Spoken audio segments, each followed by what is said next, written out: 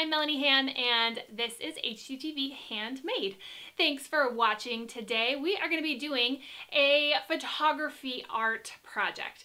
The great thing about this project is that it's super inexpensive. I'm going to show you how to do it on your smartphone so you don't need a fancy camera or anything like that. And then I'm going to show you two different ways that you can display these photos really inexpensively. You can print them from home or you can print them at your local retailer, anywhere that has like a photo department. We're going to be spelling out love in sign language. So not just the I love you, but the L O V E for sign language. But let's get going. I'm to show you all the steps on how to do this. Now I want my photos to be square, so I'm going to go ahead in my iPhone and make sure that it's in the square format. And then um, it just makes it easier for editing later. And then grab a friend or a buddy, this is my husband, and he's helping me take some pictures in that square format with a nice bright back wall, um, something that's got natural light with a window nearby. Make sure your nails are painted so that they look nice. Maybe put a little lotion on. Um, just make sure that your hands um, look nice in the photos. Also, if you have a long sleeve on, maybe pull your sleeve down so that you can see your whole wrist. Keep in mind any jewelry will be showing, etc.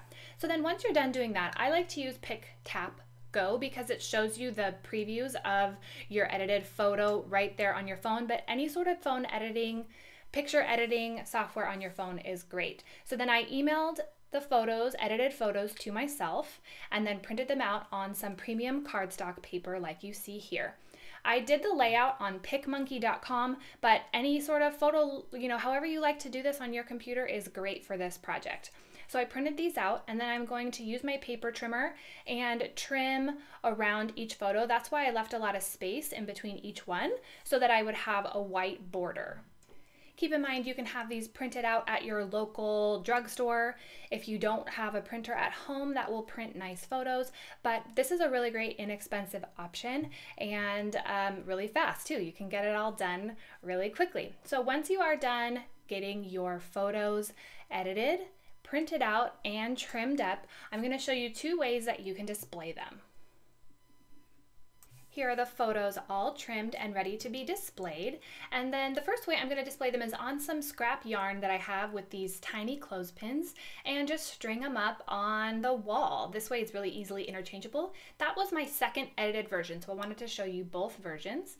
And then also here it is in a floating frame, which makes it really easy to have different size photo options.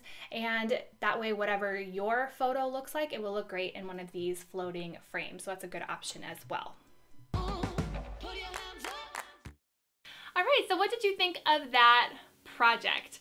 I hope that you enjoyed kind of watching how I did that. Let me know in the comment section below if you would do this project and you would spell out love or would you spell out something different. I would love to know what you would do down in the comments below.